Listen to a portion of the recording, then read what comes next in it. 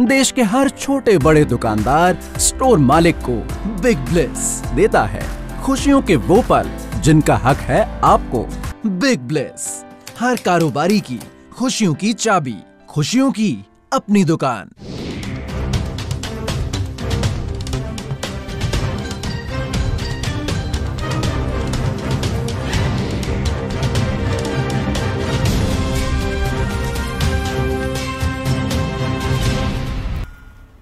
South America में soybean के पाँच मुख्य उत्पादक देश शामिल हैं, जिनमें ब्राज़ील, अर्जेंटीना, पैराग्वे, बोलीविया और यूरुग्वे आते हैं।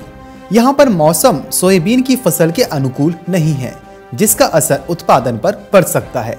2020-21 में ब्राज़ील ने लगभग 136 मिलियन टन सोयाबीन का उत्पादन किया था।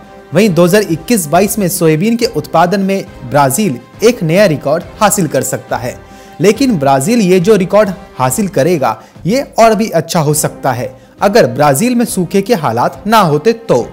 वहीं भारत में भी किसानों ने सोयाबीन को फिर से स्टॉक करना शुरू कर दिया है, जिससे मंडियों में सोयाबीन की आवकों में गिरावट दर्ज की गई है।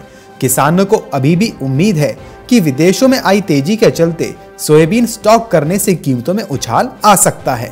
वायदा बाज़ार में सोयाबीन चौसठ तक का लेवल दिखा चुकी है। जानकारों के अनुसार, भारत खाद्य तेलों के मामले में दूसरे देशों पर निर्भर है, जिससे अगर विदेशों में तेज़ी बनी तो घरेलू सोयाबीन की कीमतों में भी तेज़ी बनेगी, और उसी का असर हम अभी वायदा पर देख भी रहे हैं। सोयाबीन की कीमतों में उछाल देखने को मिल रहा है।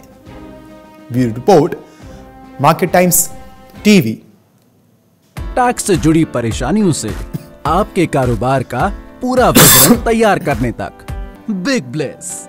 हर कारोबारी की खुशियों की चाबी खुशियों की अपनी दुकान।